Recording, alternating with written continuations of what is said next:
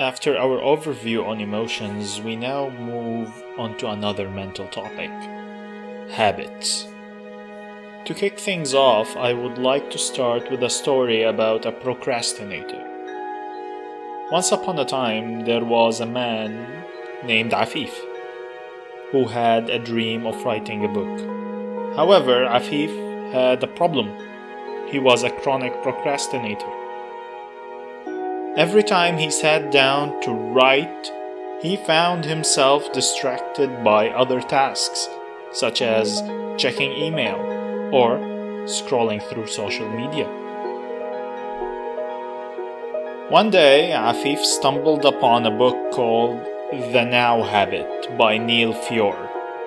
Intrigued, he decided to give it a read and as he read through the book, Afif realized that his procrastination was not a sign of laziness or lack of motivation, but rather a habit he could change.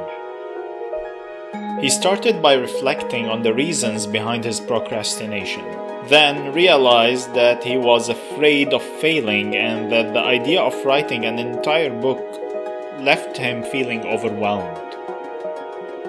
With the help of the book, Afif learned to reframe his mindset. Instead of focusing on the end result, he started to focus on the process of writing. He set specific goals for himself each day, such as writing for 30 minutes at a time, or celebrating each small accomplishment along the way.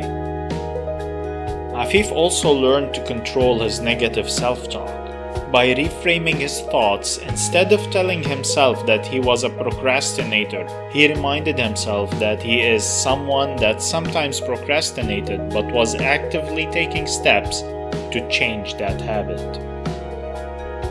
Another strategy that Afif learned from the Now Habit book was to schedule enjoyable activities first and then fill in the work tasks around those activities.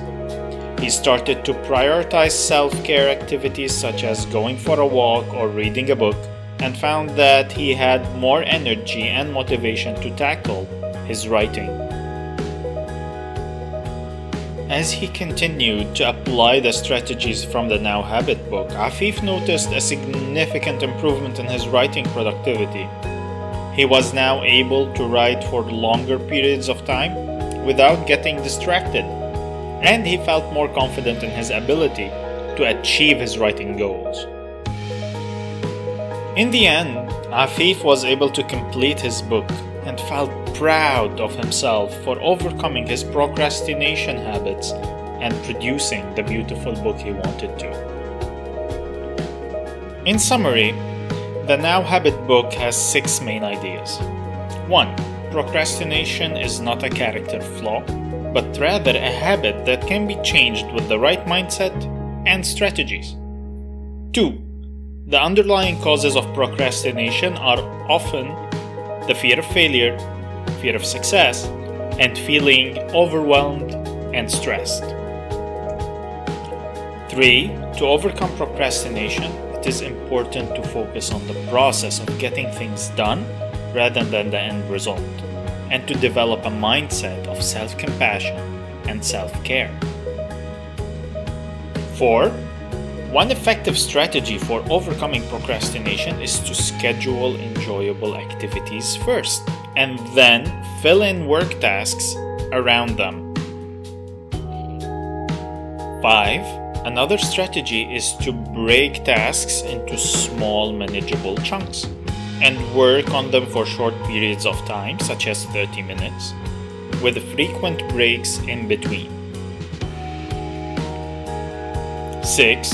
It is also important to reframe negative self talk and adopt a more positive and empowering belief system about yourself.